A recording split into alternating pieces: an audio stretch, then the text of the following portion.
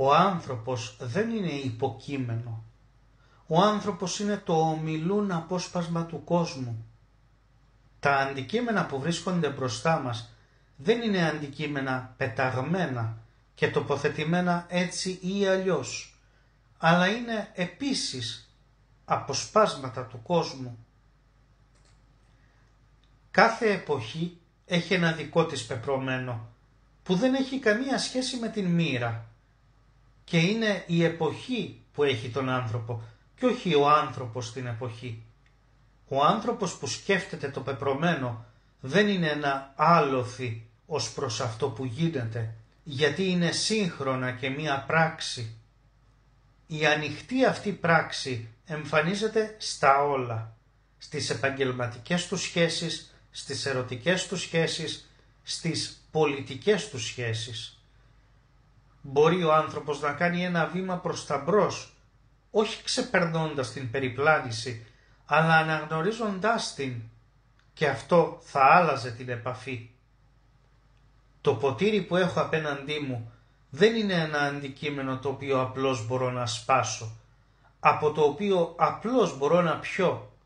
Είναι ένα δώρο του κόσμου, είναι ένα απόσπασμα του κόσμου και οι σχέσεις μας αυτές, αν αλλάξουν, το άλλαγμα αυτό θα δημιουργήσει ένα νέο κλείσιμο με τη σειρά του.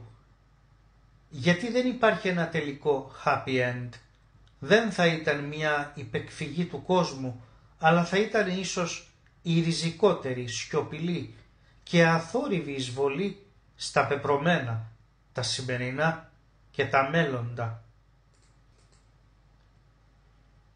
Κεφάλαιο το τέλος της τέχνης. Με τις φράσεις που έχω πει και γράψει για το τέλος της τέχνης το τέλος της φιλοσοφίας, το τέλος της πολιτικής. Έχω δημιουργήσει αφάνταστες παρεξηγήσεις. Όλοι νομίζουν ότι τα πράγματα όλα θα σταματήσουν. Σαν ένα οποιοδήποτε λεωφορείο που θα σταματήσει σε μία ορισμένη στάση. Πρώτον, μιλάω για το τέλος της μεγάλης τέχνης, της μεγάλης πολιτικής, της μεγάλης φιλοσοφίας. Δεύτερον, το τέλος διαρκεί.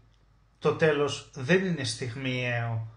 Το τέλος μπορεί να διαρκέσει ακόμα περισσότερο από όσο διήρκησε το ίδιο το πράγμα. Η καταγωγή της τέχνης, της σκέψης, της πολιτικής χάνεται στα βάθη του ορίζοντα και των χρόνων. Αυτό που βλέπουμε και ζούμε σήμερα, χωρίς να θέλουμε να το αναγνωρίσουμε είναι ότι η πολιτική έχει πάψει να είναι μεγάλη πολιτική και έχει γίνει τεχνική της γραφειοκρατικής διάρθρωσης των συνόλων. Ότι η μεγάλη τέχνη έχει γίνει περισσότερο καλλιτεχνική ευρεσιτεχνία. Ότι οι σκεπτόμενοι οι ίδιοι, άμα παίρνουν στα σοβαρά, στα σοβαρά εννοώ με πολύ χιούμορ τον ρόλο τους, δεν αυτονομάζονται φιλόσοφοι αλλά στοχαστές. Ο Χάιντεγκερ επέμενε συνέχεια λέγοντας πως δεν υπάρχει χάιντεγκεριανή φιλοσοφία. Έτσι λοιπόν, μία σκοτεινή καταγωγή μας οδηγεί προς ένα τέλος που θα διαρκέσει. Για να τολμήσω μια προφητεία, θα έλεγα ότι το τέλος αυτό θα διαρκέσει αιώνες μέσα σε αυτό το διάστημα θα γίνονται γεγονότα και πολιτικά και φιλοσοφικά και καλλιτεχνικά. Δεν θα έχουν όμως την σημασία που είχαν. Δεν θα έχουν πια το νόημα που είχαν ως σήματα του κόσμου. Αντίθετα, το άνοιγμα για το οποίο μιλάω, το ξεπέρασμα της πολιτικής, το ξεπέρασμα της παραδοσιακής φιλοσοφίας, το ξεπέρασμα της ιστορίας μας οδηγεί σε μία πιο φιλική σχέση με τα πράγματα και σύγχρονα μας οδηγεί όχι προς ένα παράδεισο, αλλά προς μία κατάσταση που θα έχει τα δικά της τα ανοίγματα. Θα υπακούει στο δικό της άνοιγμα και θα έχει και τα κλεισίματά της. Έτσι, όλοι θα έπρεπε σύγχρονα να τρέμουν, ακούγοντας περί του τέλους του α ή β ή γ πράγματος. Να σκέφτονται ότι αυτό που κάνουνε θα συνεχίζεται επί αιώνες και οι πιο τολμηροί να σκεφτούν ότι οδηγεί σε έναν δρόμο πιο πέρα αυτό το στέλνο μονοπάτι, αυτό για το οποίο μίλησα πριν. Αυτό το στενό μονοπάτι οδηγεί όχι προς τη φιλοσοφία, όχι προς ένα σύστημα, αλλά προς μία ανοιχτή σκέψη.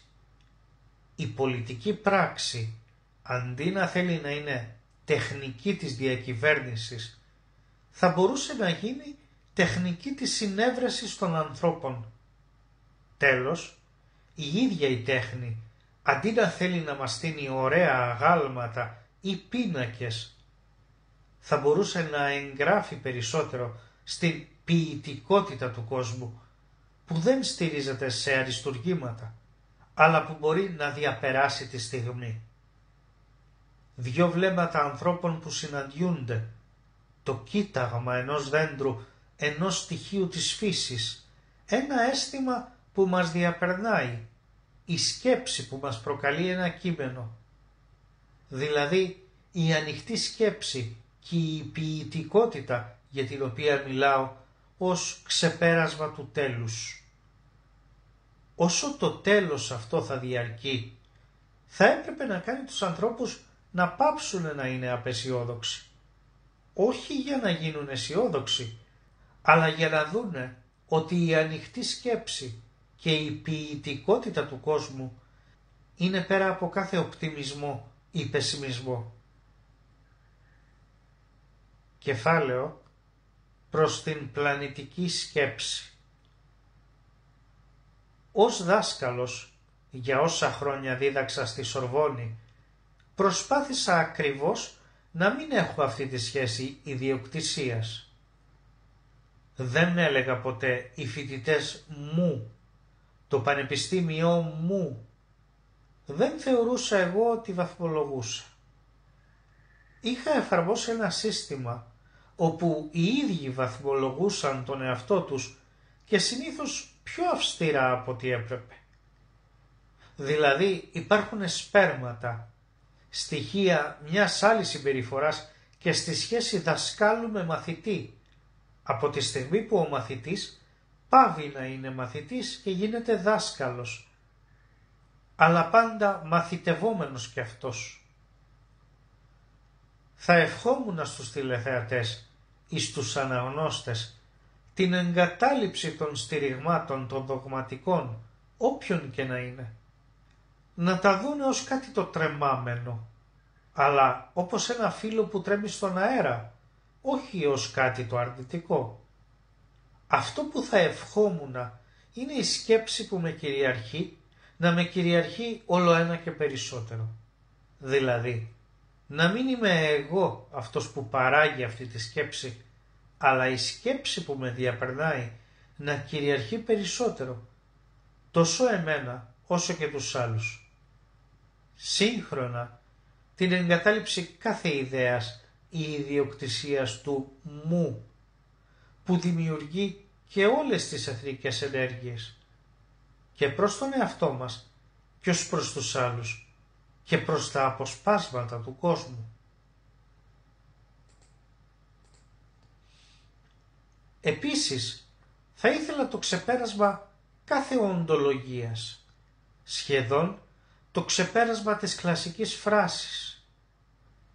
Η κλασική φράση, μαθαίνουμε στην γραμματική, είναι «το ρόδο είναι κόκκινο». Το ρόδο υποκείμενο το είναι το συνδετικό ρήμα.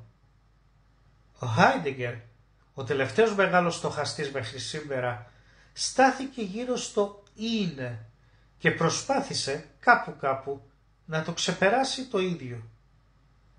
Εγώ προσπαθώ να δουλέψω μία σχέση και στα γραπτά και στα προφορικά, αλλά και στην ίδια μου την έμπρακτη καθημερινή ζωή, που να μην υπάρχει το είναι να μην είναι κανείς προσκολλημένος σε αυτό που είναι ή να λυπάται για αυτό που δεν είναι.